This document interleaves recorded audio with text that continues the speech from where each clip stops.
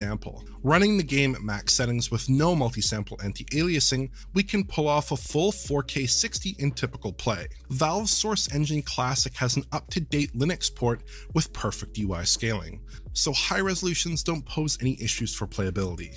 The 60 FPS lock is disrupted momentarily when alpha effects fill the screen, but this is a full 4K 60 the overwhelming majority of the time, and holds up very well on a 4K television.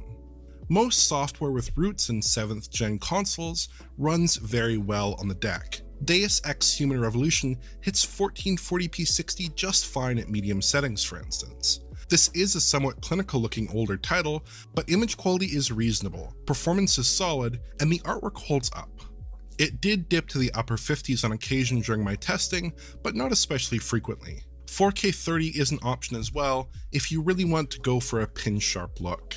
Valkyria Chronicles and Dishonored both perform in a similar range at default settings at 1440p, though the framerate dips are somewhat more common so I'd suggest dipping to 1080p for a better 60fps lock. Both titles do hold up perfectly fine though and even compare favorably to their 8th gen console ports, which is a big win for the deck.